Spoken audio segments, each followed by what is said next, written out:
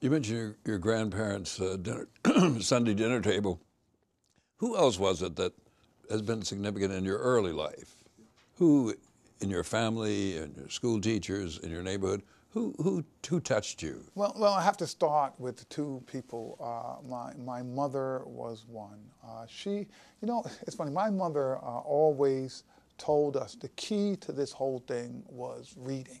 She just kept saying, the key to this is reading. And no, no matter what happens, no, no, no, the key to this is reading. You just have to read. And she allowed me to read all kinds of stuff. I was reading adult books when I was still in elementary school, and she didn't care if books had curse words and stuff. She was like, no, the key is reading, right? And I say, oh, let me read that book, right? The key. Mm.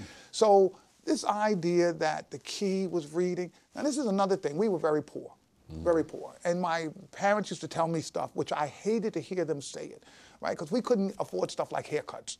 And so your hair is not cut. It's not, everybody else was laughing and teasing. Mother, My mother would say, it's not what's on your head, it's what's in your head. That's what, mm-hmm. and I'd be like, I don't want to hear that. Uh-huh. Can I just get a haircut? You know, so, and, but you know what? Years of those kinds of messages began to really seep in. And mm. it's suddenly, I started, you know, saying that to myself. So that was initially, I think, what's began to prepare me uh, to work hard. Uh, there were a couple of key people in my life uh, separate uh, than this.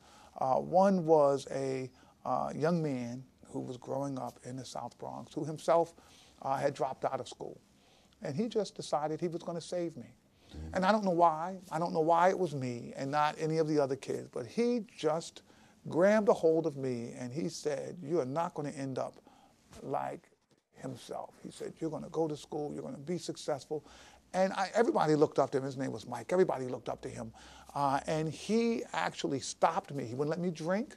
He wouldn't let me smoke, right? Now, it's not in the nice, soft way that people might think uh, the things he told me he would do to me. If he caught me, I couldn't repeat. Uh, but the idea was he decided some of us have got to get through this thing.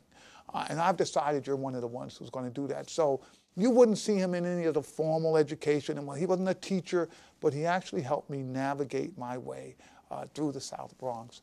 Uh, and then after that, uh, there were a couple of teachers who just decided that they would not accept sloppy work from me. Uh, and you know, I, I could write better than the other students, and you know, I, the teacher would come and he'd be furious at the writing, and I, that's the best stuff in the class. What are you? And I knew it, right? Mm-hmm. And I was like, so what are you getting on my case for? Why don't you bother Paul? Look at his. And they were like, no, no, this is not.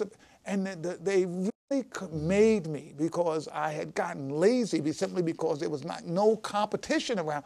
They, they would not allow me uh, to do sloppy work or work that would not sort of stand up outside of the uh, neighborhood I was growing up in.